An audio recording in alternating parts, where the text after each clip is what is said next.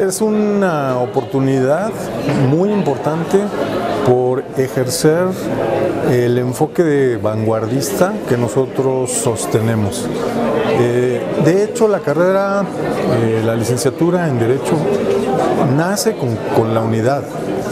Sin embargo, entró en suspensión mucho tiempo, varios años, y actualmente estamos retomando ese plan de estudios, dándole una forma renovada y eh, replanteándolo a un nivel de, de una, un perfil muy vanguardista por un lado, pero que además eh, se va a entregar con base en nuevas tecnologías de la información y la comunicación. Entonces representa para nosotros la posibilidad de retomar un proyecto, pero con nuevos bríos, actualizándolo a lo que se ha determinado requiere la sociedad en términos de, de especialistas en derecho.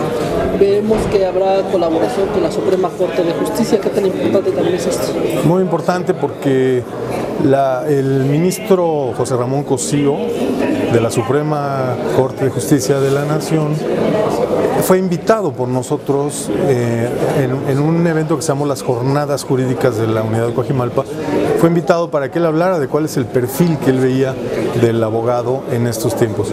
Y después de eso tuvimos una plática informal, una reunión con algunos eh, especialistas y él, eh, digamos que en ese momento se convierte en un asesor la, con la mejor disposición y con el mejor ánimo para apoyarnos en construir un grupo de expertos que analizaron nuestro plan de estudios y eh, propusieron una adecuación al mismo.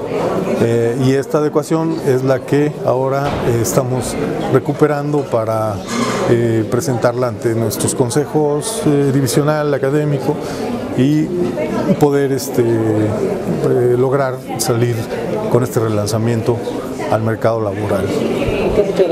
Muchas gracias.